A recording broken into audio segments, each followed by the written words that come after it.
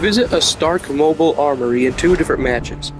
You might have already noticed the big giant Stark pads around the map by now, and a little while into matches, the mobile armories will spawn on them, and you'll have to go to them.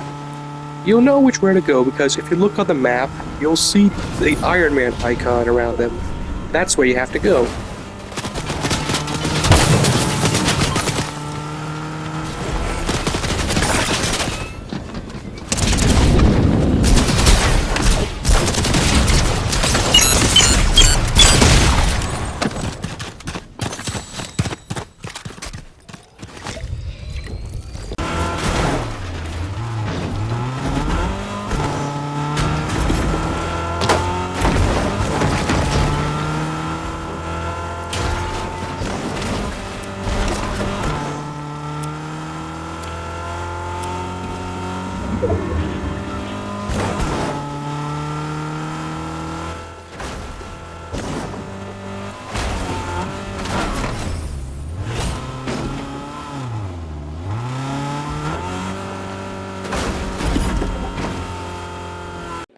Thanks for watching the video. If you like this video, be sure to subscribe for more, and use my code TREYSTAR679X in the item shop if you want to support me on future content.